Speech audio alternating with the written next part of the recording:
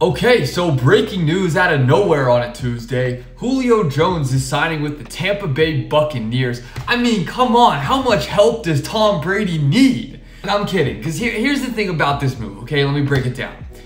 Julio Jones is not that guy anymore, okay? I mean, realistically, he's probably the Bucs number four receiver, maybe number five, depending on how you feel about Scotty Miller and Tyler Johnson.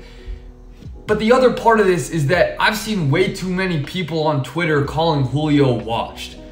Julio Jones is not washed. When you're 6'3 with some of the best hands in the game, it's impossible to be washed, even if the Bucs only use him in the red zone or only use him as a tight end. He could still be a good player for this team.